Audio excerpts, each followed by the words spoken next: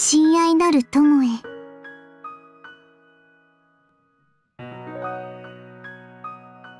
私は今とても幸せです。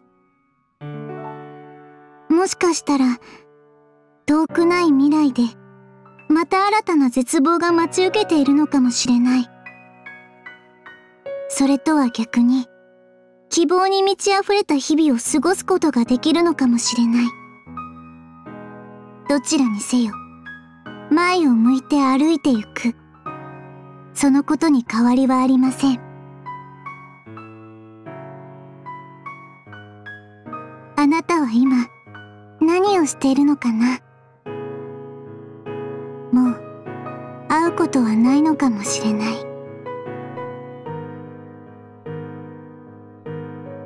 それでもあなたは私の切な友達です。ありがとう。